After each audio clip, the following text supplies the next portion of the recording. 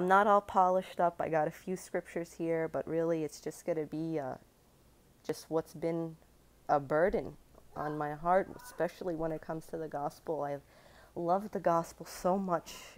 Uh, Romans 1:16, something we stand by all the time is that it is the gospel that is the power of God into salvation and I don't see it shared enough or I see it being twisted or it's just not elaborated enough. Maybe they'll do a half a gospel, maybe just the bad news and never the good news, or sometimes it's just all good news and never the bad news.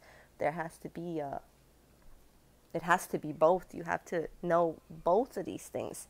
And sometimes when I hear people, you know, come against faith alone, come against, you know, what the Bible says how to be saved, a lot of people will say, no, it's not like this, it's like this, it's like this. So when you ask people, well, how do you get saved? They'll give you a list of what you have to do. And it all basically comes down to these words try your best. Try your best to be a good person, and the Lord will see that you're trying, and He will uh, He'll have mercy on you. But you have to try your best. You have to do these things, and it gets now that could either come into uh, two different ways. Either either the person will end up being self-righteous and thinking that, well, yeah, I'm doing it. I'm not like this guy. I don't sin like this guy, or it could cause someone who was like me, who says I have nothing whatever I do isn't right. I can never I can't my best is not good enough. And I think that's the attitude that the bad news has to bring in the in the gospel of Jesus. So when we hear that you just got to try your best, just try your best and God will see. That's uh, that's not what the Bible talks about. That's not the gospel. The, the gospel doesn't say try your best it doesn't say that. So if you could find that in scripture, let me know. But that's what I basically heard my whole life. Try your best. Keep doing it. Keep trying. Keep trying. And, you know, maybe God will, will save you. So, um, hold on a minute. Okay. So, I want to look at that tonight from God's perspective.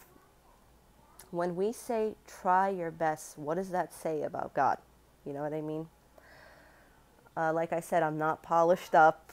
I, I barely, I have a few scriptures, and I'm literally just going right now because it's just something that was just uh, burning on my heart today from the things that I hear, and that word really bothers me. Try your best, because we know what our best is: filthy rags there is no one good.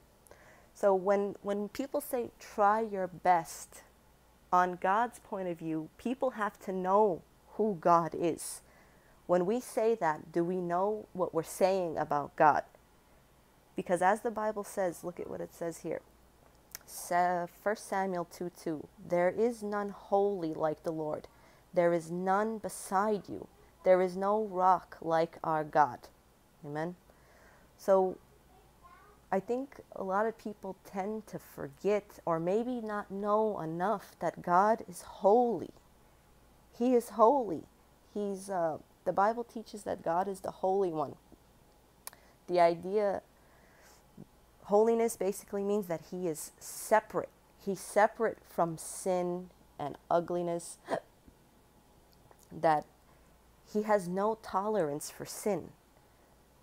Uh, Psalms 5 4 says, you are a God who takes no pleasure in evil. With you, wickedness cannot dwell. So God cannot look upon sin and tolerate it. So when people say try your best, it's making it seem like God is, is not that holy, that he could see, well, at least you're trying. No, God is holy and he demands perfection. Uh, Isaiah 59, verse 2 says, because God is holy, he is unable to look at sin. It says, But your iniquities have separated you, you and your God, and your sins, and your sins have hidden his face from you, so that he does not hear you. Habakkuk 113 says, Your eyes are too pure to look upon evil, and you cannot tolerate wrongdoing. 1 John 1 5. This is the message that we have heard from him and declare to you God is light, and in him is no darkness at all. So when we say, or when we hear, just try your best, well, no, God is saying that he's holy.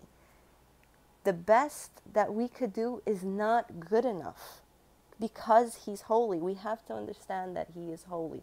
See, unless we understand who God is, we will not understand salvation. We won't understand all of these doctrines, imputed righteousness, all of the doctrines. We will never be able to understand them unless we know who God is, who we're dealing with, and who we are. Jeremiah 9:23 says, "Let not the wise boast in their wisdom, or the, the strong in their strength." But let the one who boasts boast in this, that they know and understand me, that he's a God that loves to show righteousness and justice. He's saying, don't boast that you're wise, but boast in the fact that you know me. And I think a lack of understanding of the attributes of God comes up with these phrases try your best, and all of these things that we hear where it makes someone say, well, either they're self righteous where I'm better than this guy because I'm doing this and I gave up this sin, or it's going to produce, like I said earlier, someone who will never be able to be saved. You come to the point where just try your best. Okay, let me not sin, let me not do this, let me try to do these works. And then you come to a point when you read these scriptures that God is. God is so holy that even when we think something, if we committed uh, if we hate our brother, we commit murder in our heart. If I think something sinful, I, I committed murder. You know what I mean? So you get to the point where I'm just trying, I'm striving, I'm doing, and I, I can't make it. And it makes you stumble, and it actually makes you, you know, not want to come to God because I'm a sinner and I messed up. There's no way I could come to Him. It reminds me of how much Jesus Amen. So, since God is holy and righteous, He demands holiness and righteousness. Amen. So, this is why I'm saying we need to understand that God is holy and He demands perfection. When someone says, just try your best, no, God is demanding perfection. Look at what it says, Matthew 5 48. You, this is Jesus talking, you therefore must be perfect as your heavenly Father is perfect. Matthew 5:40 says, "I tell you unless your righteousness exceeds that of the scribes and Pharisees, you will never enter the kingdom of God." So look at what he's saying. Jesus is not saying try your best. Uh, just keep striving, just keep doing it, try your best, and maybe it'll work out. No, Jesus is actually raising the bar. And he's saying, No, you must be perfect as your heavenly Father is perfect. Your righteousness has to go surpass the scribes and the Pharisees. And who was more righteous than the scribes and Pharisees? No one. These people devoted their life, even they added more to the law so that they would keep it. And they became the self righteous ones. So, see how it produces the self righteous people? But Jesus is raising the bar now. He's saying your righteousness must surpass those of the scribes and Pharisees. He didn't say, try your best like we're, we're hearing today. Try your best and maybe it'll work out. No, he's saying, no, you must surpass them. You have to be better than them. Your righteousness has to be perfect. God is demanding perfection. Look at Proverbs 11, verse 4. Riches do not profit in the day of wrath, but righteousness delivers from death. So since God, oh no, I'm freezing again.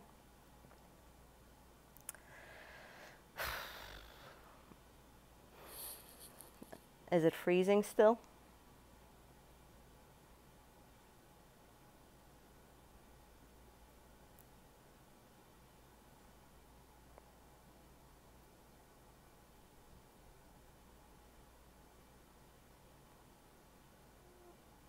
Okay, uh, where was I? Okay. So riches do not profit on the day of wrath, but righteousness delivers from death. Amen. So God is raising the bar, and this should cause us to realize oh no, I'm doomed. I have no righteousness. Uh, man is not righteous. Micah 7, verse 2 There is no one upright among mankind. Ecclesiastes 7:20 Surely there is not a righteous man on earth who does good and never sins. Proverbs 21 verse 10 The soul of the wicked desires evil. Look at that. So Jesus is demanding not try your best. Try your best, it'll work out. Jesus is demanding perfection. You must be perfect. You you must be holy because I am holy. God cannot demand anything less than perfection. Look at what it says in Job 15, uh, I believe 16. It says, God puts no trust in his holy ones, and the heavens are not pure in his sight. How much less one who is an abom- abomination and corrupt, a man who drinks down iniquity as if it was water. God bless you, Crystal. So you see here what's happening? God is not saying, again, try your best, it'll work out. Jesus is saying, no, you must be perfect. God, since He's holy, demands perfection because He's holy. If He demands anything less, then He's no longer perfect, He's no longer righteous. God has to demand perfection because He Himself is holy. This is why we need to study and know the attributes of God, like His holiness, his wrath, his justice, his righteousness. If we understand who God is, we could better understand that salvation has to be a gift from God. It has to be. If not, we're all doomed. So, if the heavens are not pure in his sight, how much less is a man who is a corrupt? Later on in Job, it calls man maggots. Graza, maggots.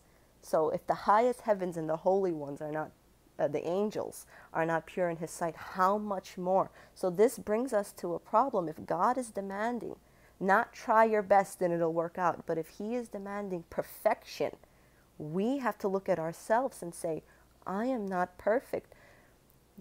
You know, a lot of people will say, well, I'm not perfect, you know, but I'm not that bad. Well, not only does the Bible say you're not perfect, but the Bible says no one is good. No, not one. So if we're depending on ourselves to be saved, depending on our righteousness, we have no righteousness. If we're depending on ourselves, we will never be saved. Jeremiah 17, verse 5 says, Thus says the Lord, Cursed is the man who puts trust in man and makes flesh his strength, those hearts whose hearts turns away from the Lord. Proverbs 15, verse 8 The sacrifices of the wicked is an abomination to the Lord. Look at that.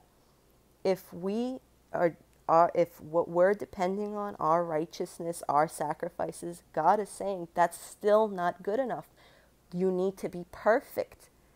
Your sacrifices, your trusting in your strength and what you could do, it's not enough. God demands perfection, not try your best. Hopefully, it'll work out.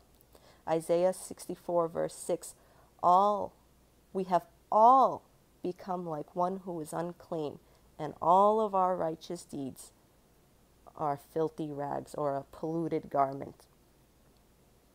So when people say, you know, the best, the, the way to be saved is just for you to try your best. Our best our best is filthy rags, graza, in front of God. The Bible says that we are unclean. The book of Job says, Can anything clean come out of something that is unclean? So if we ourselves are unclean because of sin and our sinful nature, whatever works we do do and depend on that, well, maybe that'll get me into heaven. Our graza and our sin comes through, and our works are now tainted by sin.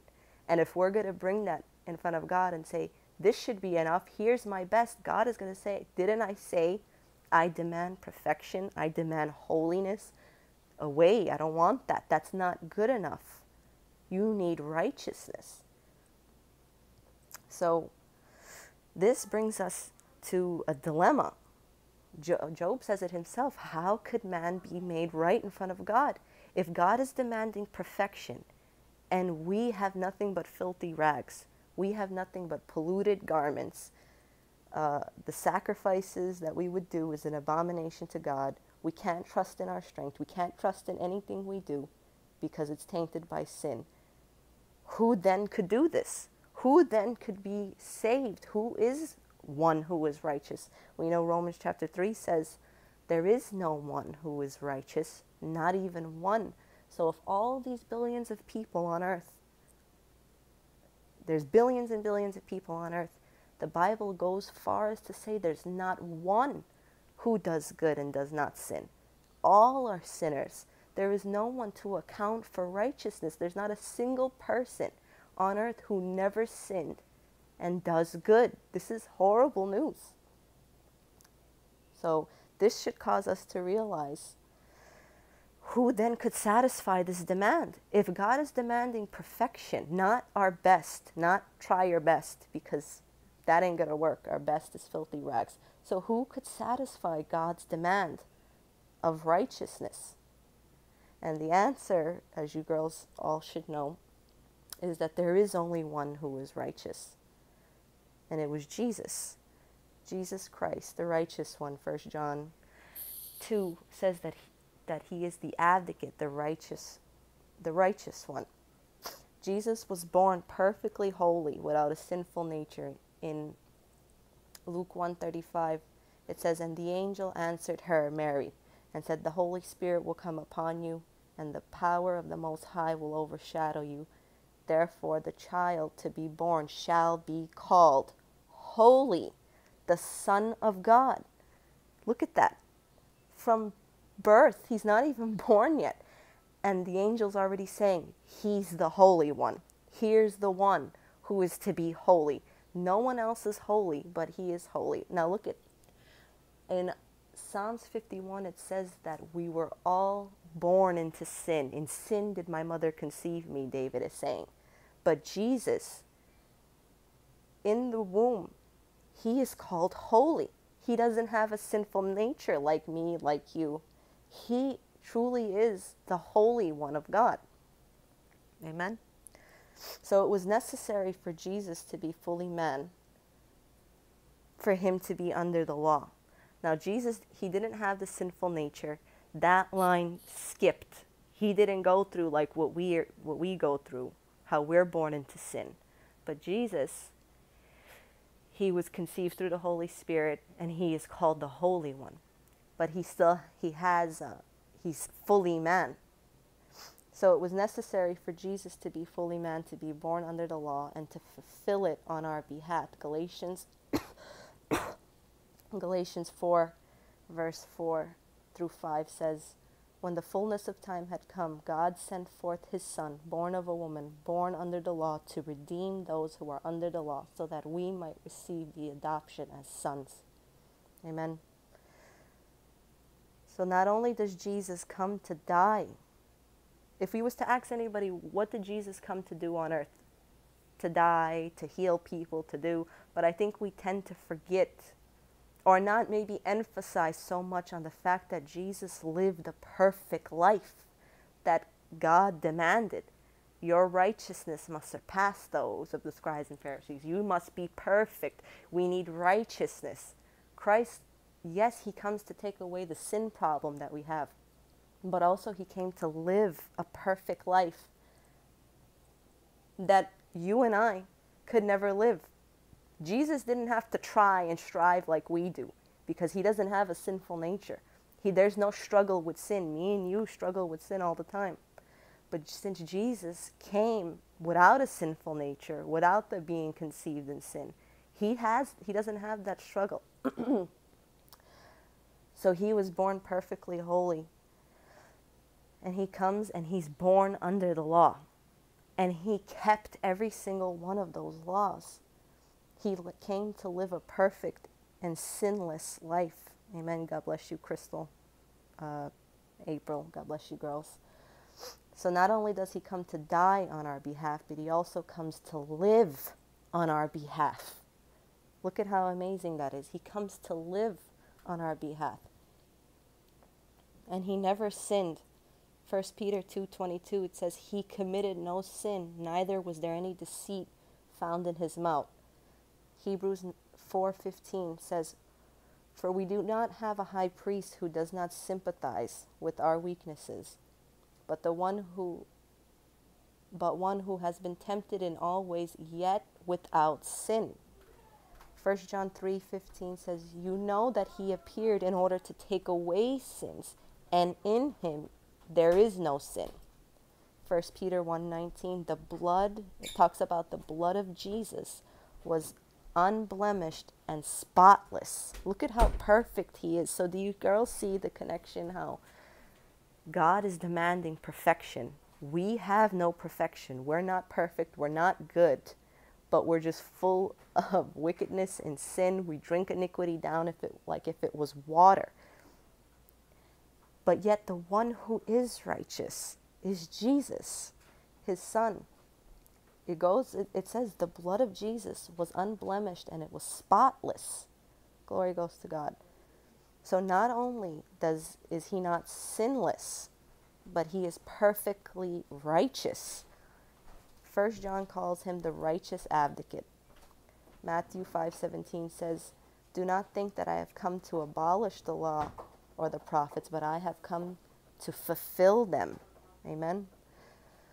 Uh, Matthew 3:15 talks about the baptism of Jesus and how he goes to John the Baptist to be baptized and he John the Baptist is telling him, "I need to be baptized by you. Why are you coming to me?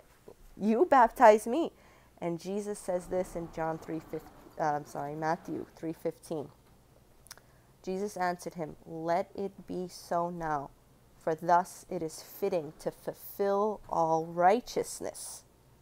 Amen. So look at that. Jesus, when he was here on earth, he kept the law perfectly.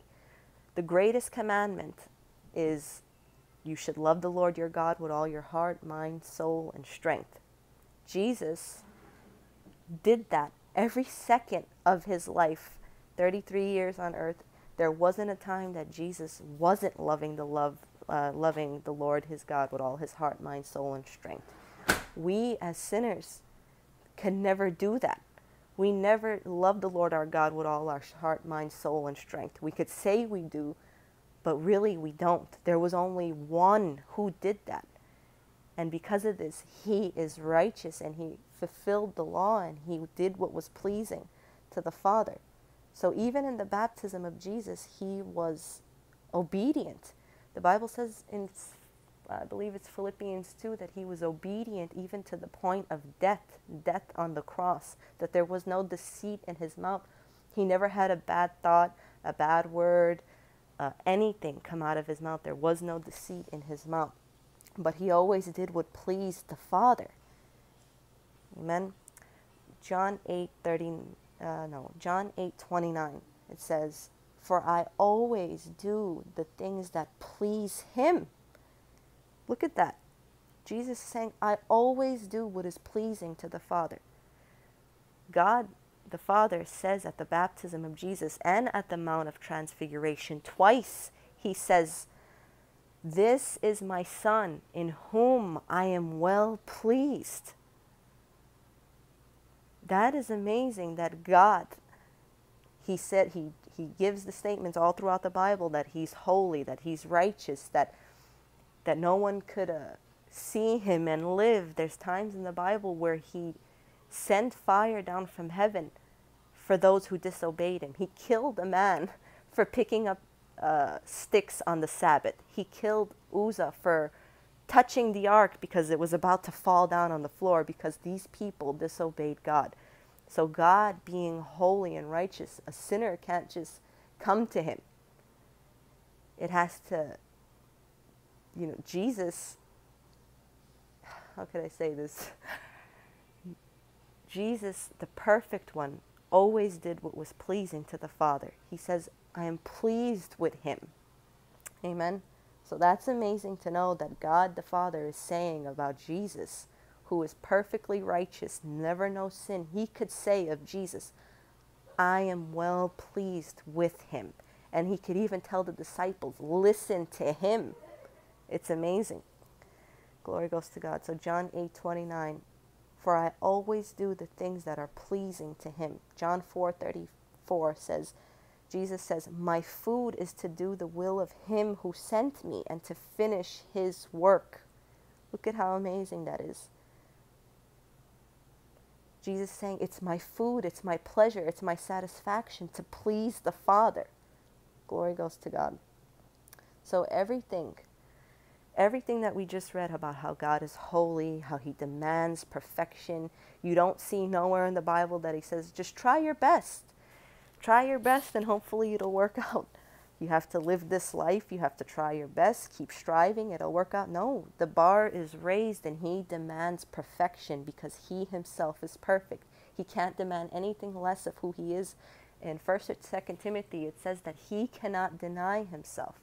In Jeremiah, Jeremiah, Jeremiah, it says that he has to avenge his name.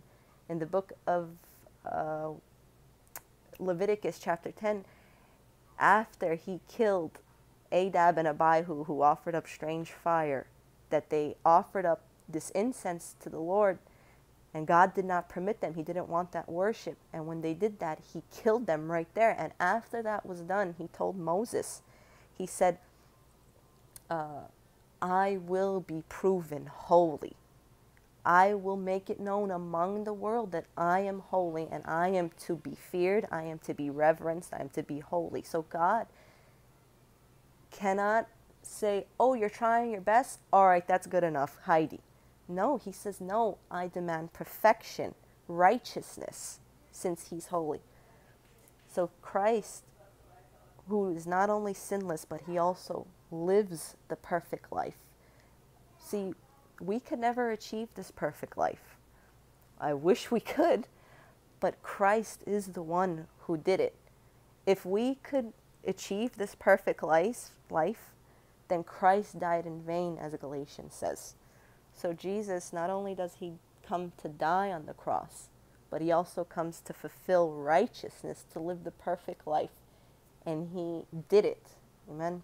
So everything in the Bible was leading up to Christ the sacrifices in the temple, having to offer sacrifices every year on the Day of Atonement, a sacrifice for this, sacrifice for that. It had to be a certain animal.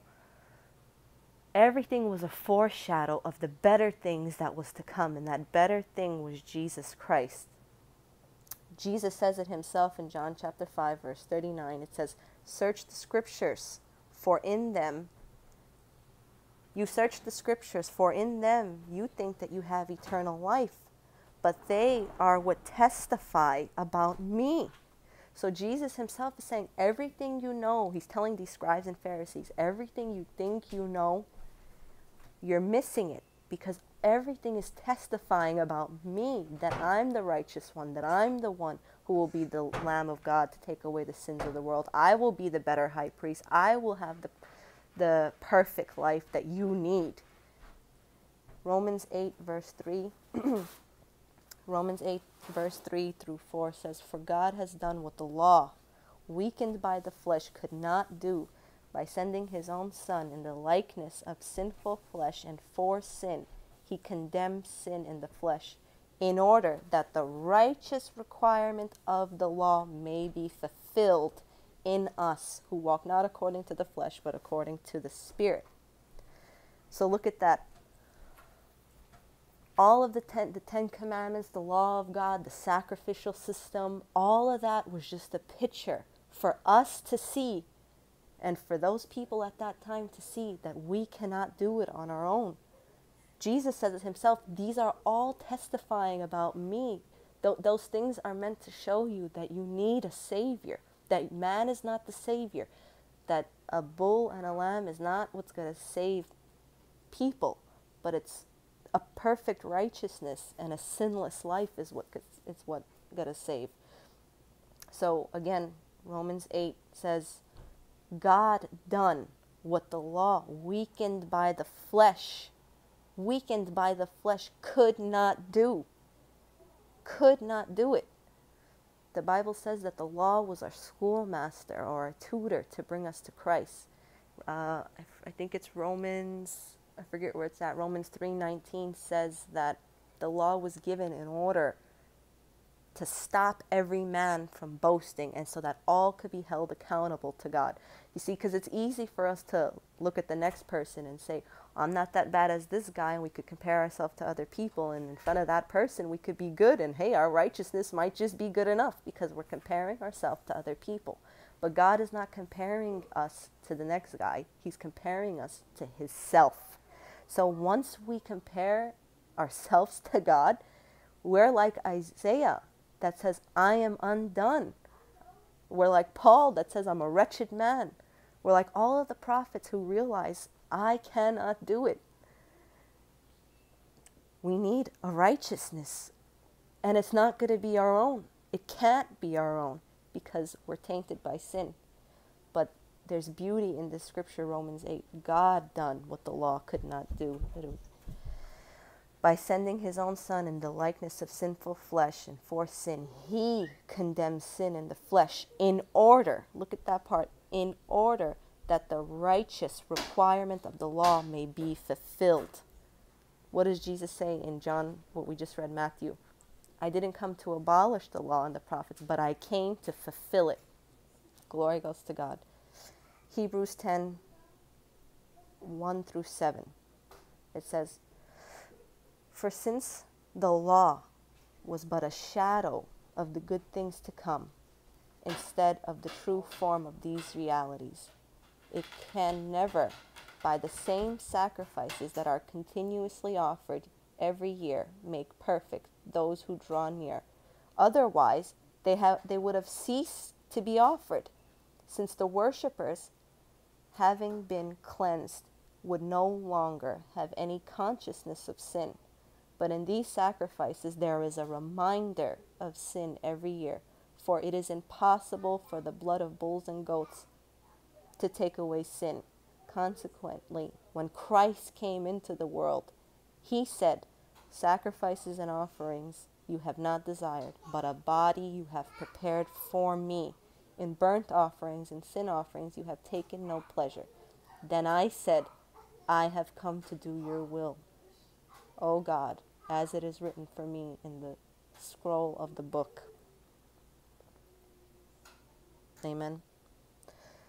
So, what I was saying earlier, how everything is a is pointing you to Christ, the perfect life, the righteousness, the holiness, the, everything was pointing you to Christ. Even the sacrifices, the blood of bulls and goats, it says, can never take away sin.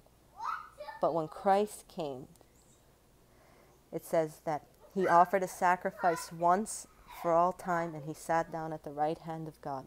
Amen. So he was that perfect lamb. He was the one to do all these things. Romans chapter 4, verse 4 through 5. It says, Now to the one who works, his wages are not counted as a gift, but what is due. And to the one who does not work, but believes on him who justifies the ungodly, his faith is accounted to him as righteousness. Amen. 2 Corinthians 5:21 For our sake for our sake he made him who knew no sin to be sin so that we might become the righteousness of God. Amen. So everything that was requ- required and demanded God provided in his son Jesus Christ. Girls, look at how amazing that is. If God, since God is holy and he demands perfection, and we're not perfect, we're not we're not good. There is no one on earth who does good and no one sins, Ecclesiastes says. Romans 3 says, No one is good, no, not one. All of us have turned aside. We have gone our own way. All of our righteous deeds are filthy rags uh, Romans chapter 8, verse 7 says that the mind set on the flesh is hostile to, to God. It does not submit itself to God's law. Indeed, it cannot submit itself to God's law. But look at what Jesus says I have come to do your will. It is my food to do your will. It is my pleasure to do the will of the Father. What all of us had no desire to do. We were full of sin, had no righteousness to account for. Even what we think we could have is not good enough. Christ comes and he is called the righteous one. And he comes and takes our place on the cross. Not only takes away our sins, but he also gives us the righteousness that we can never earn. We needed not only to be wiped clean from our sin, but we needed a righteous account. And Christ gives us that righteous account once we've put our faith in him, according to uh, Romans chapter 4. Now to the one who does not, now to the one who works, again it says, his wages are counted as a gift, but is not is not accounted as a gift but what is due. And to the one who does not work but believes in him who justifies the ungodly his faith is accounted to him as righteousness. Amen hold on candy you're doing a great job if i was on the that glory goes to god stephanie i feel like i'm all over the place uh, but do you see when Jesus says, you must be perfect, he's not saying, try your best, live, don't sin, don't do this, don't do that. Just try your best. God is not saying that. He's, he's lifting the bar. He's going more. No, you must be perfect. And he, not, he gives us the perfect Christ while we were enemies of God, while we were dead in our trespasses and sins. Christ died for us. Romans chapter 5 says, while we were helpless, Christ came and died for us. While we were enemies, while we were sinners, hostile to God, Christ did this for us. So I hope that this makes sense to you girls that when we hear, try your best, that our best isn't good enough this is why we need to understand the holiness of God. That trying your best makes it seem like God is, uh, all right, give me what you got. All right, what do you got? All right, that'll work. No. God is demanding perfection, but he also supplies perfection in his son Jesus Christ. Amen. 1 Corinthians 1:30 says it's because of him, God the Father, that you are in Christ Jesus, who became to us wisdom from God and righteousness and sanctification and redemption, so that it is written, Let no one who boast, let, let the one who boast, boast in the Lord. So in Christ, we have righteousness, we have, this is saying, redemption through his blood and wisdom and sanctification in Christ, not on our own. So on that day of judgment, when we stand before God, and He, if He was to ask us, why should I let you in? What righteousness do you have to account for? We are to say, I myself have nothing. I am a sinner. I was born into iniquity and sin. All of my righteous deeds are filthy. I have nothing to say here. Here's my best. But I don't stand here on my own righteousness. I stand here because of your Son, because of his righteousness, because of his account. I have nothing to offer God but a filthy rag. But Jesus, he is the one that offers perfection. Amen. Isaiah 53, verse 10 says that God was pleased to crush him and to put him to grief that he was pleased with the sacrifice. This is why uh, God raised him from the dead. The resurrection is a big part of it too. Because if Christ wasn't risen, that means that God wasn't pleased with the sacrifice. But since God raised him from the dead, that shows that he was pleased with the sacrifice. God is demanding a perfect sacrifice, a perfect righteousness and he supplies it in his son Jesus Christ. Amen. So it is because of God that we are even in Christ Jesus, who became for us righteousness. Amen. So glory goes to God for that. Galatians 2:21 end with the scripture. It says, "For if righteousness came by the law, then Christ died in vain." If we could try our best, if we could achieve this, then we didn't need Christ because then we could be our own savior. If the message we're hearing today, try your best and hopefully it'll work out, that's not going to do us any good.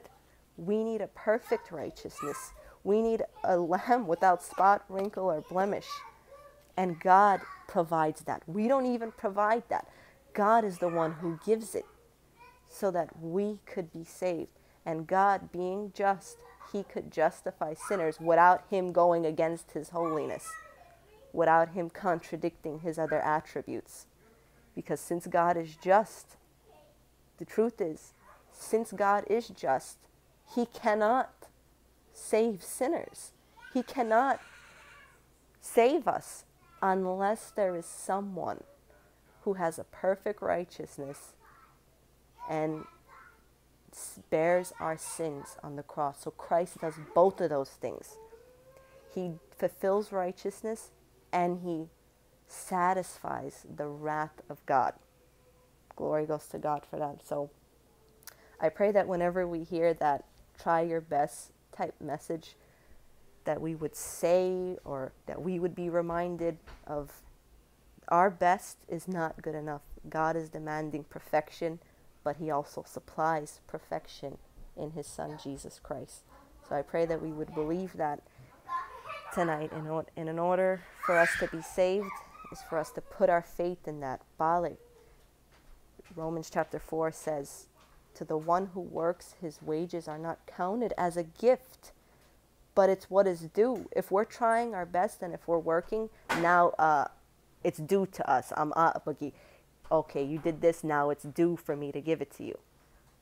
But it says, but to the one who does not work, which means to the one who's not depending on his works, it doesn't mean he's not doing anything, but it's to the one who's not depending on what he could do, but just simply believes and trusts to and cling to and rely on the perfection of Jesus Christ. It says that that his faith is accounted as righteousness. Amen. And as a result, the Bible says when we place our faith in Him, that we are saved, that we are considered justified. And He takes our sins as far as the east is from the west, He removes them from us. And that He loved us while we were sinners, and He sent His Son to die for us.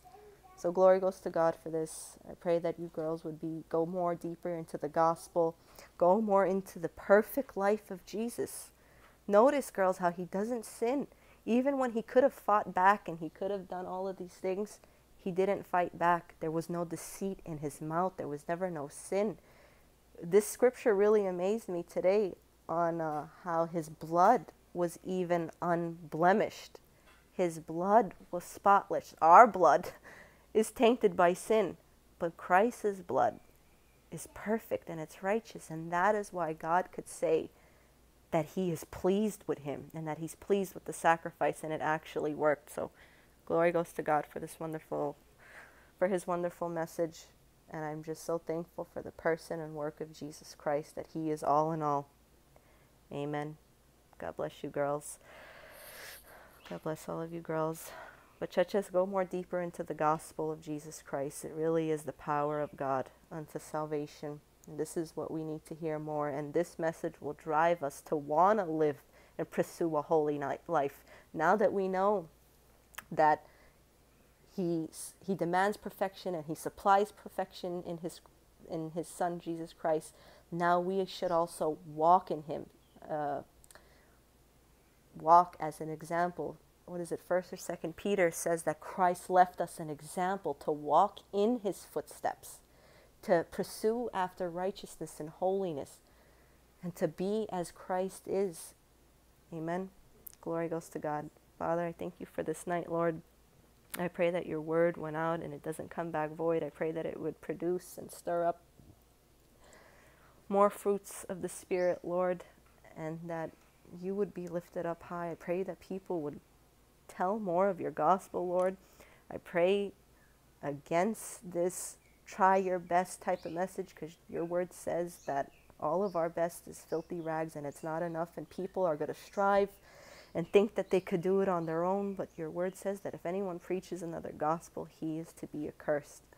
So, God, please protect your sheep from any false gospel, Lord, a gospel that does not save. But I pray that people would be bold and have courage to share that the gospel is by faith in your Son, Jesus Christ. And we give you glory for living the perfect life and taking upon our sins, Lord. And I pray that we would be pleasing unto you. Thank you for dying for us on the cross and for satisfying the demands of the righteous law, Lord. And I pray that we would walk in it, as your word says, that we would walk in the law of liberty, Lord, that we would be, as your word says in Romans, that we uphold the law. In Jesus' name, glory to you. Amen. Amen. God bless you, girls. God bless you, Gina. God bless you, Sam, Tiffany, Stephanie.